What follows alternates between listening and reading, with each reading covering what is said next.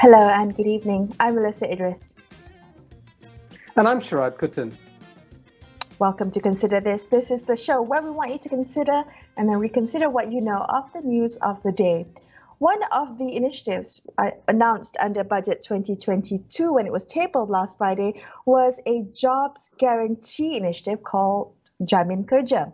Now, with an allocation of 4.8 billion ringgit, the scheme aims to create uh, 600,000 jobs and is expected to reduce the unemployment rate from 4.6% to 4%.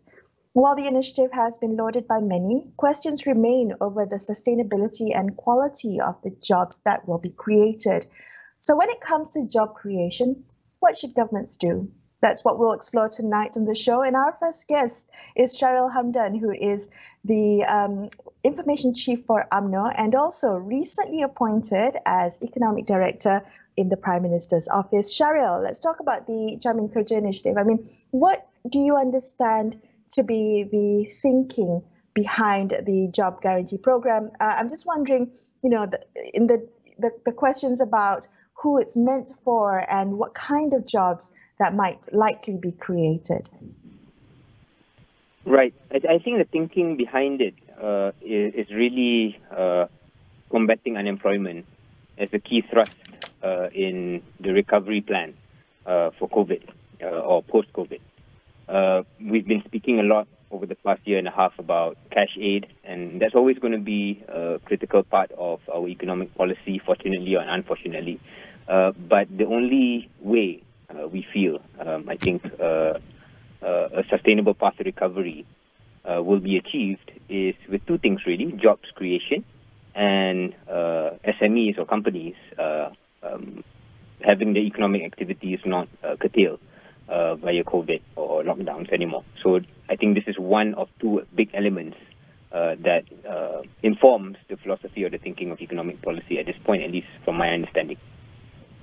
Uh, Shahril, can you walk us through some of the details uh, about this? Because we, uh, some of it is linked to uh, hiring within the government sector, within GLCs, and some of it seems to be uh, in supporting biz private businesses to retain their staff or, or to hire people uh, by you know giving some portion of the wages, uh, subsidizing some portion of the wages. Could you help us understand uh, how complex this whole endeavor is?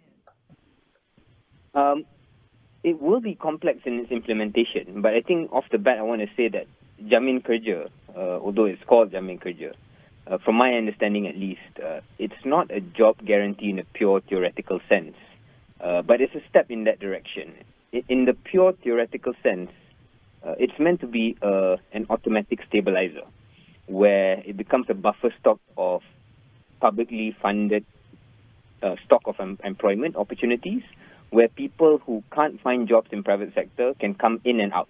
So that's the conceptual ideal.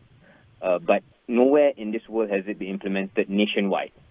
Um, it's been, you know, piloted uh, in some form in India with the Mahatma Gandhi National Rural Employment Act.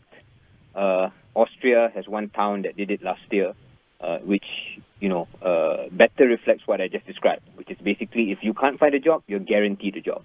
Jamin Kerja is a step in that direction. It's almost like a distant cousin to the theoretical idea of a job guarantee, where government provides X number of jobs. In this case, if I remember correctly, MySTEP will provide 80,000 in 2022. Um, so rather than guaranteeing zero involuntary unemployment, which is what a conceptual job guarantee is meant to do, uh, what this Jamin Kerja, at least via MySTEP, is guaranteeing that at least 80,000 publicly, fully publicly funded slash GLC funded uh, jobs or positions will be created slash filled. Um, and then the rest of the 600,000 is, as you indicated, Sharaad, um, you know, hiring incentives, uh, place and train, or rather train and place um, type of initiatives that also aim to basically put public money uh, into the system and allow for uh, jobs to be created to the tune of 600,000. And it's the first time, in, I think, that a, that a Minister of Finance has spoken in Parliament and basically said that government will guarantee 600,000 people will get jobs. Now, you could argue that without these programs, uh, without the hiring incentives, it's not to say that this program is going to give 600,000 jobs that would otherwise not be there. But I think uh, if we're being intellectually honest, a, a big fraction of that 600,000 might not be there if not for uh, this spending that the government is uh, is putting in. And the other thing, just to quickly add, what's different from my step this year, or rather next year, uh, which is uh, from from what's been done this year, as as I understand it, is it's not just that GLCs will hire people for their own company, uh, because that's when people start arguing maybe these are jobs that are not really necessary. These are these are just to fill in um, quotas or KPIs. I think what we've seen with Khazanah especially, and a lot of credit goes to them, uh, what they did this year, as I understand it, was they funded it, but they placed these individuals in out-of-town SMEs, rather out of KL SMEs, uh, into jobs that wasn't Khazanah jobs, but jobs in companies that Khazanah paid for. Now imagine to a broader or longer logical conclusion you could say then, therefore, that not just government creates jobs for government agencies, but government slash GLCs can fund these jobs for more community work, for NGOs that, you know, uh, presumably do social type uh, uh, uh, work that wouldn't be created by the private sector itself. So that's when the distant cousin becomes less of a distant cousin. Okay, well, well, you answered my, my question about what kind of jobs are being created. Now, I had wanted you to address some of the uh, concerns that had been brought up that perhaps some of these jobs were artificially created jobs, jobs that might not be sustainable or productive, uh, particularly in the long run. And I like that you said, you know, the thinking is, um, well, if you want, if you if you can't find a job and you want a job, then the government guarantees a job. Can I ask you, Shahril? I mean, this thinking has been implemented, uh, has so certain initiatives have been introduced in several other budgets previously as well. I think last year there was a National Employment Council set up, half a million jobs was promised or, or aimed to be achieved. I mean, is someone monitoring that? Were those jobs created? And um, uh, is this 600,000 jobs for the same people that the same type of jobs that were created last year. I'm just wondering whether there's been monitoring and kind of uh, continuity in terms of the initiatives that have been announced, particularly in addressing job creation and unemployment?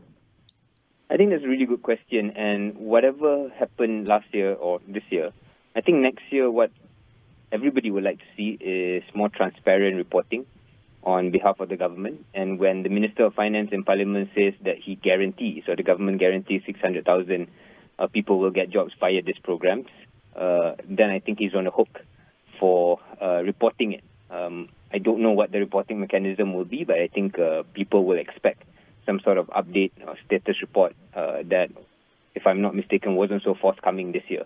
So maybe that can be one of the positive changes this time around. Uh, second thing uh, about your question about um, what kind of jobs, uh, which also should be part of those reports, right? Um, that's when I hinted in my in my previous answer. Kalau boleh, if possible, it's not just you know, GLC saying, right, I'll just hire a bunch of people, put it in my HQ office, which, by the way, is a problem because most of them are in KL. Uh, but rather GLC saying and government saying, if if the stats department don't need more people, if Jabatan Kebajikan don't need more people, uh, we will allow for, for example, uh, NGOs, because I, I think that would be a great thing. Uh, NGOs who do community work, uh, to do, who do environmental work, for example, in, in, in a ground sense, uh, we will fund uh, we will fund uh, those initiatives possibly as part of those uh, jobs that we speak of. So this is not not government policy. I'm not speaking on behalf of government, but I think that could be one push uh, where we try and convince people, the doubters who say these are artificially created jobs, uh, because it's a loaded term, right? Artificially created jobs, basically saying that these jobs are not necessary or not needed. If we can show that it's not just private sector uh, Sorry, Shahril, if I could just jump in there oh, uh, with, with, the question of, uh, have we lost Shahril? Melisa? I, I, am not. I'm not sure. I think we have, um, but let's try and get oh. him back and and see if we can. Yes. So unfortunately, we've, we've lost Shahril. So we're going to take a quick break, and we will try and get him back or we will um, speak to another economist and uh, we'll continue this conversation about the government's role in creating jobs, particularly as announced under Budget 2022 with the initiative Jamin Kerja. Stay tuned to consider this. We'll be right back.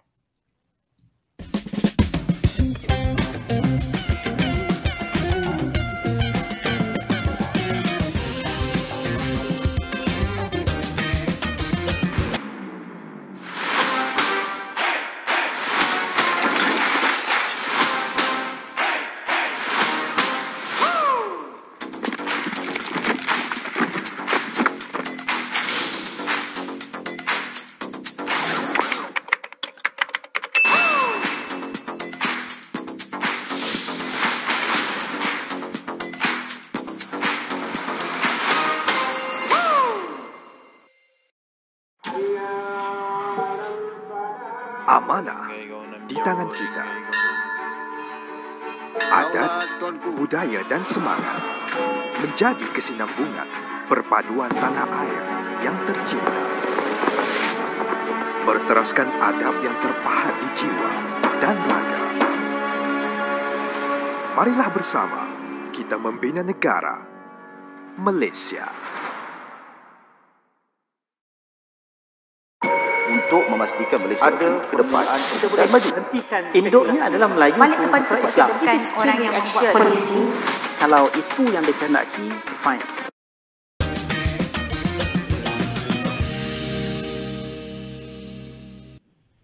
Hi, welcome back to Consider This. I'm Lucid with me, Sharaad Kuttan. We've got Shahril Hamdan back on the line, Information Chief for UMNO, recently appointed Economic Director uh, in the Prime Minister's Office. Sharad, you had a question for Shahril.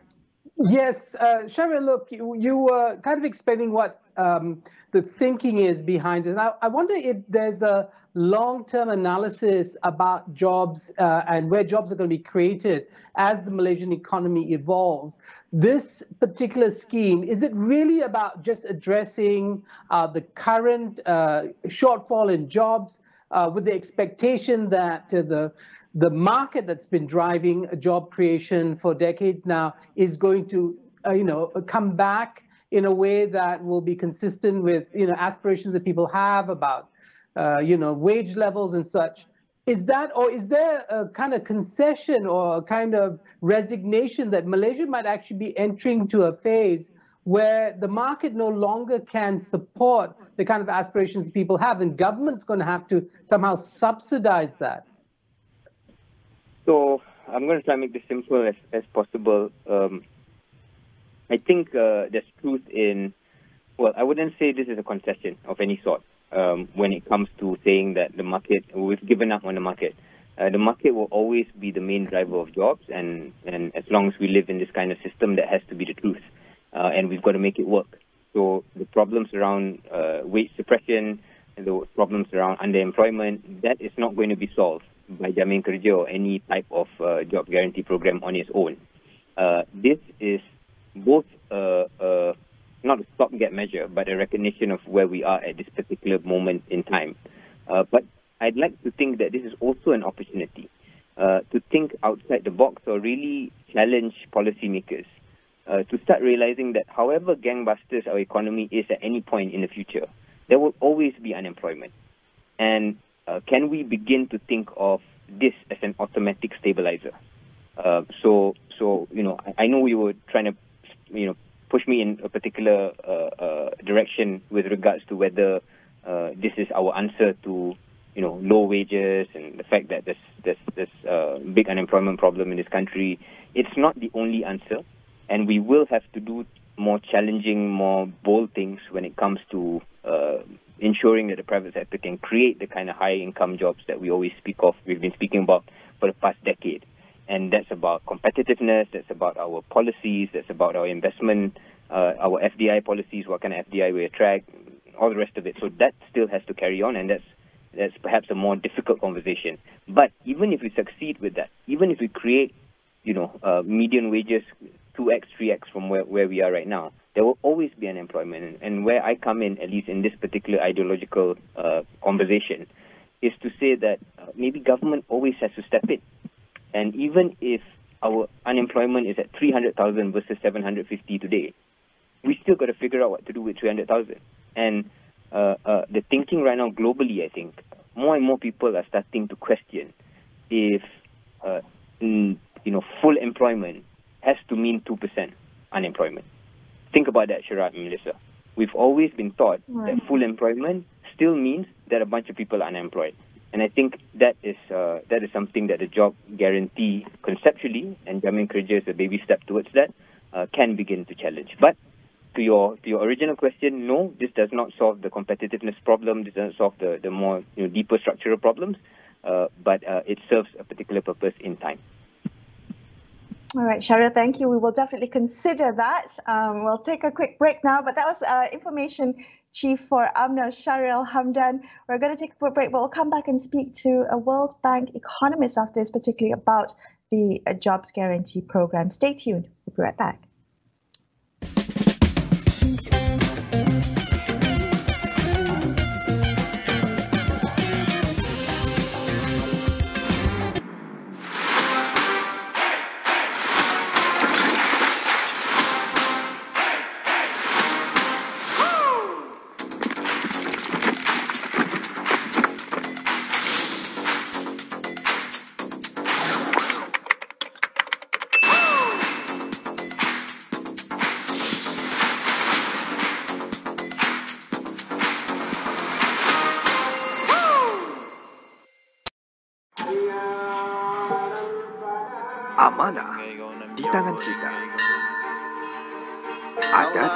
Budaya dan semangat menjadi kesinambungan perpaduan tanah air yang tercinta.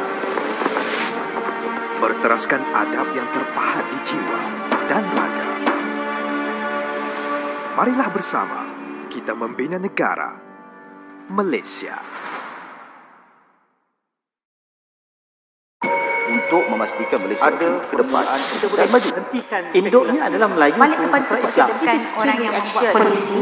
Kalau itu yang dikehendaki, fine. Mungkin kita berbeza pandangan. Tapi kita mem-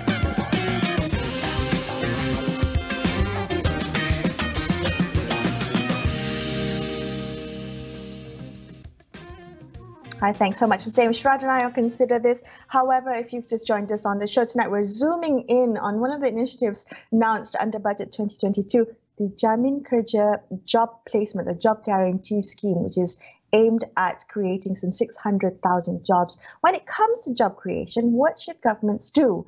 Joining us on the line now is Shakira Teh Sharifuddin. She's a senior economist at the World Bank. Um, Shakira, what are your thoughts on um, you know, not just this Jamin Kerja initiative that was recently announced, but I'm just wondering also overall in terms of how uh, government is addressing job creation and unemployment in this budget. Thanks, Sharaad and Melisa, for having me tonight. Um, I think maybe I'll start uh, with a broader overview and things in terms of you know our quick takes on the budget in general before we move into jobs. So I think first thing it's it's great that this budget is cognizant in that it's aware that this is a budget um, for a cautious recovery period. And as such, you see many of the support measures, including you know uh, various um, employment measures such as the Jamin Kerja initiative, the wage subsidies, various financial in- in- incentives are still in place, and that's good to know because you don't want to preemptively uh, wind down some of these measures, uh, given the uh, uncertainty that we're seeing right now.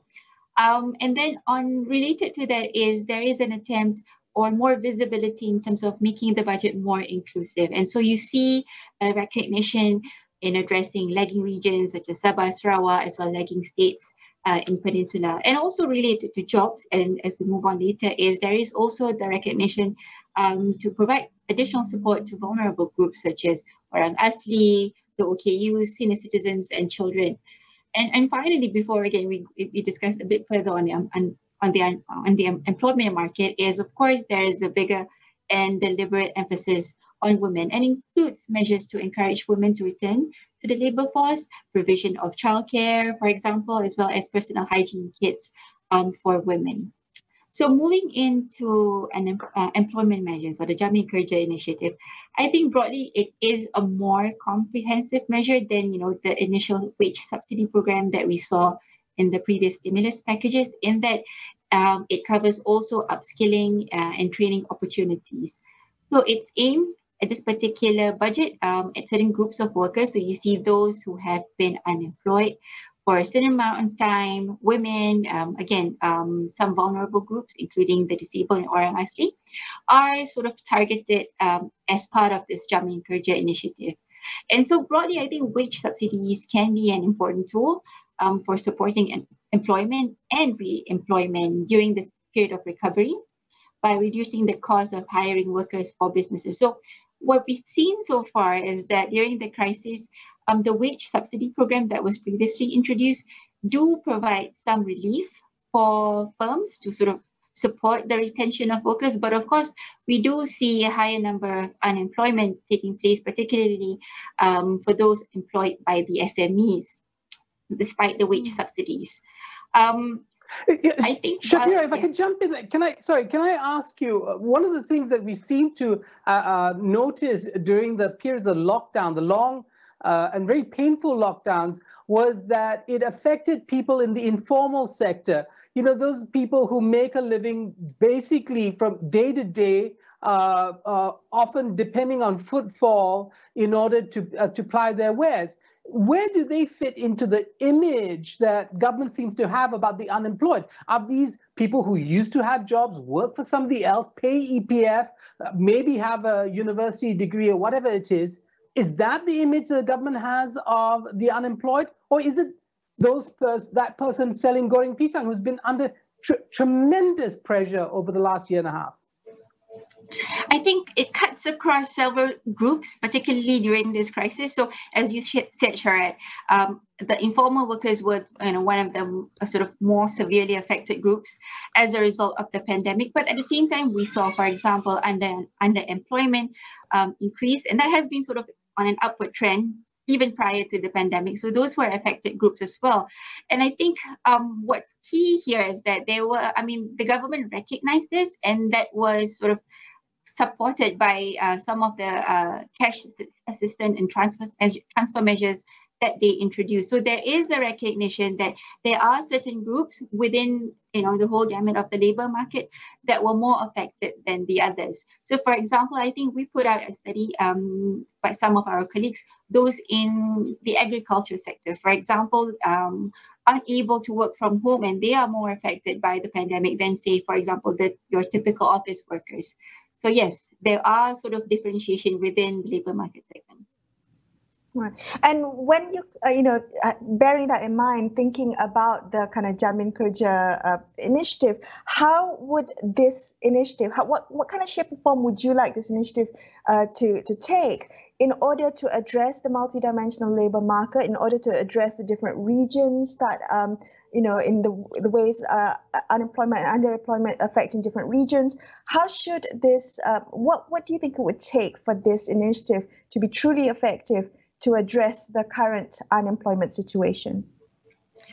Well, in terms of, you know, labor market measures, I think, and as well as with social protection measures, these are best if they are well targeted and carefully implemented. So, I mean, take for example the MySTEP program, which is a temporary uh, employment program. So if it's targeted well, for example, to fresh graduates, it may provide them with the job experience that they need in order to move on to better jobs later. So um, it depends, again, it's, it has to be well targeted. And I think the implementation is key. So there is a mention of, you know, this various initiatives could lead to creation of about 600,000 jobs. But of course, the implementation, when it comes to you know applying the, the transaction costs um, for anybody to, to, to join some of these initiatives have to be low in order for them to sort of in, incentivize or take up some of these initiatives uh, at the same time. Um, I think monitoring uh, the, impl- uh, the implementation and uh, both in the short term and the long term of these initiatives are also important in order to sort of like provide some information in order um, for the program to be more flexible if, if there are any such uh, big changes happening in the economy. So can, we pick up on that point of monitoring? Because we asked the previous guest, Shahril Hamdan, about uh, previous promises also to create jobs and what seems to be a lack of data on whether any of those promises were fulfilled, whether uh, and what the impact was, long term, short term, things that you mentioned about this being a stepping stone to something better. Is that something just uh, an aspiration of government rather than a reality on the ground? What, in, in the experience of the World Bank, does the Malaysian government collect enough data so that we can evidence-based policy making that you know can be tweaked and and and uh, uh, can evolve as we understand the the consequences of those policies. Is there any enough data?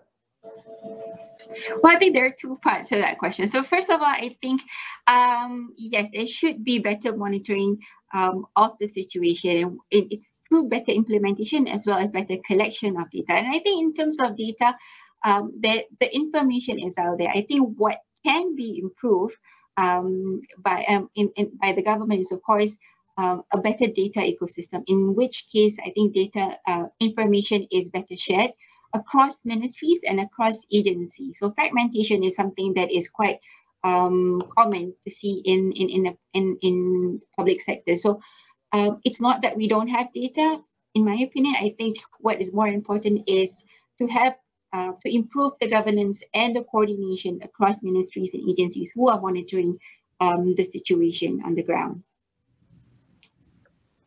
Right. Shakira, can I ask you? I mean, uh, a lot of people have pointed out that, you know, these uh, job initiatives or these types of job initiatives, particularly announced in budget, and at this time, um, is a, short-term measure. But un- unemployment, underemployment is something that Malaysia has been grappling with for long before the pandemic um, struck. And I'm just wondering what kind, whether you saw any kind of structural um, uh, uh initi- initiatives that were meant to address some of the structural problems around employment, um, and what you would like to see partic- in particular as we come out of this, as we're you know dealing with some of the short-term initiatives, what you would like to see be addressed for the long term um, you know, uh, uh, to address the long-term issues of underemployment and unemployment? Sure, I think as we all know, the budget is a one-year document, so it's more short-term in nature. But I think what we hope to see over the medium term and the long term is, first, I think there's always this talk about um, creating high-value jobs, high-skilled jobs in the market. And one of the things I think um, the government is thinking about this is through uh, its investment policy. So basically, attracting more quality investments into the country, which can provide um, high-skilled jobs that you know it's much talked about um, going forward. Um, but I think it also has to be complemented with um, the discussion of creating jobs should be complemented with uh, talks about protecting um, uh, increasing social protection or improving social protection and at the same time protecting uh, workers' welfare.